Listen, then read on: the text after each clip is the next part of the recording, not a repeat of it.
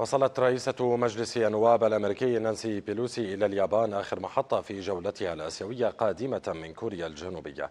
وستلتقي بيلوسي برئيس الوزراء الياباني فوميو كيشيدا علاوة على رئيس مجلس النواب. وقد أثارت بيلوسي أثارت بيلوسي التوتر بين بلادها والصين على خلفية زيارتها المثيرة للجدل إلى تايوان التي تعتبرها الصين جزءا لا يتجزأ من أراضيها.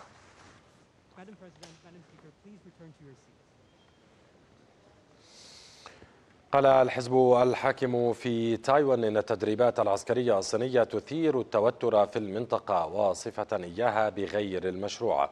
أعلنت الصين عن مناورات عسكرية في المناطق المحيطة بتايوان تستمر عدة أيام عقب زيارة رئيسة مجلس النواب الأمريكي نانسي بيلوسي إلى تايبي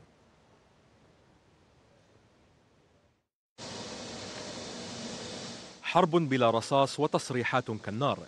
هكذا يمكن وصف المشهد القائم بين الصين وتايوان.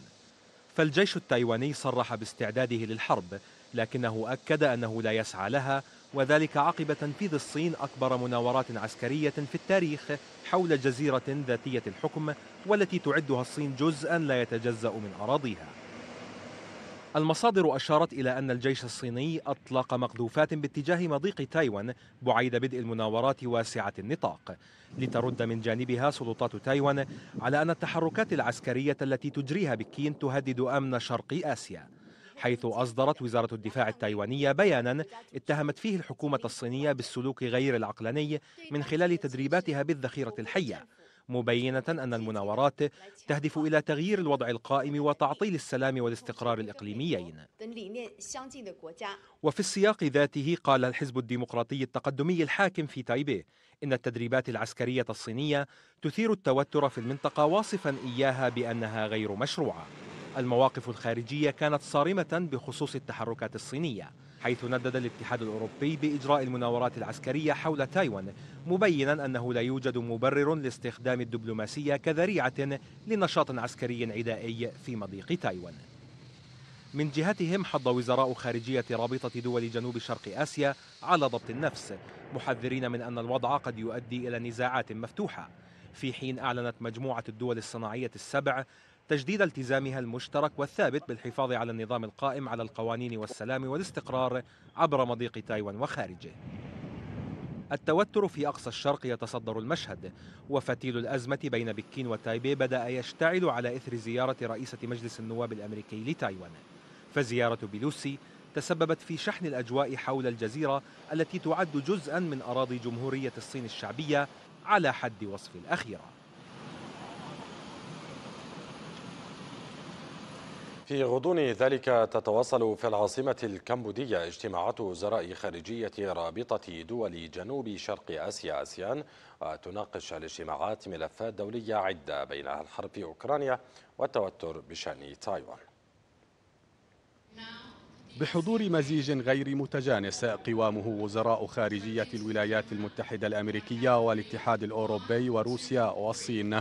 تتواصل في العاصمة الكمبودية بنومبينا سلسلة الاجتماعات بين دول رابطة جنوب شرق آسيا آسيان من جهة وشركائها من جهة أخرى. بالنسبة للقوى العظمى ليس الحضور إجباريا بالتأكيد ولا هو لاقتناص الفرص أو التنافس عليها بل هو في ظل الأوضاع العالمية الحالية أقرب ما يكون لتسجيل الحضور في الدفتر ومنع الخصم من الاستفراد ببث رؤاه وتصوراته والغناء على ليلاه أبرز الملفات الإقليمية على مائدة المدعوين هي قضايا الحرب في أوكرانيا والتوتر بشأن تايوان والأزمة السياسية في مينمار. بشأن تايوان دعا وزراء خارجية آسيان إلى ضبط النفس بالتزامن مع إجراء الصين مناورات عسكرية قرب الجزيرة محذرين من أن الوضع قد يؤدي إلى نزاعات مفتوحة. على وتر تايوان عزف وزير الخارجية الأمريكية أنتوني بلينكن الذي جدد معارضة بلاده لما وصفها بالجهود الأحادية لتغيير الوضع الراهن في الجزيرة. وعلى الوتر ذاته كذلك عزف ممثل السياسة الخارجية في الاتحاد الأوروبي جوزيف بوريل الذي ندد بالمناورات العسكرية الصينية ناعتا إياها بغير المبررة. ولو من باب زيارة بيلوسي إلى تايوان. وبشأن ميانمار دعت مسودة البيان المشترك للرابطة وفق تسريبات إلى دعوة المجلس العسكري الحاكم في ميانمار لإبرام اتفاقيات مع آسيان بما في ذلك اتفاق لإنهاء العنف بشكل فوري. ملف الانقلاب في ميانمار وعنف العسكر هو أيضا مادة خصبة ومحل خلاف بين أقطاب الساحة الدولية. وزير الخارجية الروسي سيرجي لافروف أكد خلال زيارة لهذا البلد قبل اجتماعات آسيان أن بلاده تدعم جهود المجموعة العسكرية لتحقيق الاستقرار وهو موقف يناقض موقف واشنطن التي عارضت انقلاب العسكر وفرضت عقوبات على قادته. وبشأن الحرب في أوكرانيا فإنه من نافلة القول أن اجتماعات آسيان لن تقدم أو تؤخر أو تحدث خرقا في جدار الأزمة بل إن الاجتماعات في أحسن الأحوال ستكون فرصة لترويج بضاعة واشنطن وحلفائها من جهة وموسكو من جهة أخرى. يقول دبلوماسيون وباحثون في العلاقات الدولية إن منطقة جنوب شرق آسيا كانت وما زالت مفترقة طرق استراتيجيا فيها تتقاطع مصالح القوى العظمى وتتعارض وهي تبعا لذلك منطقة متعددة الأقطاب ولا تخضع لسيطرة أي قوة خارجية واحدة وقليل المنافسة فيها إن وجد يدور بين واشنطن وبكين. اتجاه هاتين القوتين العظميين نسجت كل دولة من دول جنوب شرق آسيا نهجها بطرق خاصة. إن المنطقة وفق قول الباحثين نهج فريد يدرس في سياسة لا مع ولا ضد إلا ما خلا من استثناءات لا تعدو عن كونها هوامش بحثية. انضم إلينا من واشنطن الصحفي والباحث السياسي توماس جورجسيان أهلا وسهلا بك معنا. سيد توماس كيف آه، تعامل آه، تعاملت الصحافة الأمريكية مع زيارة بيلوسي من البداية وحتى آه، نهايتها مع وجود كل ردود الفعل الصينية على هذه الزيارة؟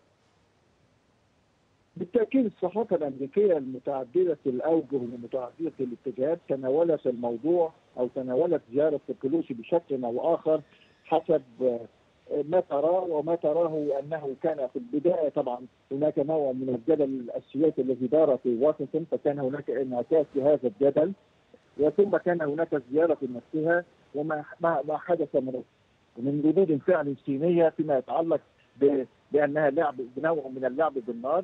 وبالتأكيد هناك اصوات طالبت حتى صحيفة واشنطن بوست المعروفة والشهيرة قررت في تحيه لها أن توقيت الزياره غير غير غير عقلاني وغير منطقي وأن هناك نوع من الاستفزاز.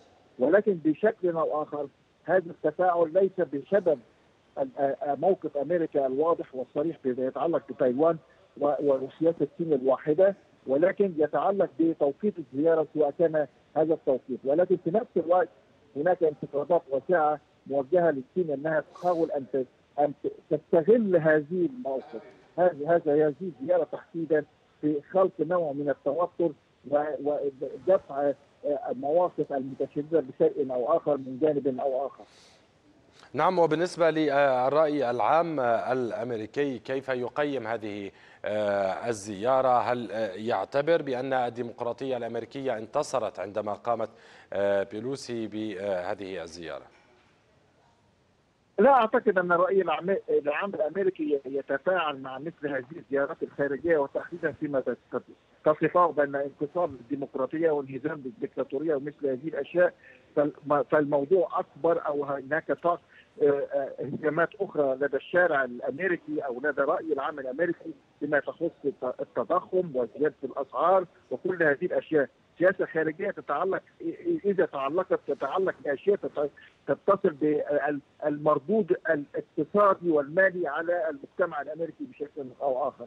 فبالتالي المبالغة أو التأويل أو التهويل أو التهوين من كل ما يقال عن في الشارع الأمريكي من وسائل أو وسائل التواصل الاجتماعي الاجتماعي وسوشيال نعم. ميديا وكل هذه الأشياء هناك شد وجذب بالتاكيد ولكن لا هذا لا يعني أن نعم. هناك اهتمام كبير بما يحدث في الصين أو بشكل آخر في شرق نعم. جنوب شرق آسيا إلا في المجتمعات التي تخص مطالبها خصوصا بهذه. المنطقة.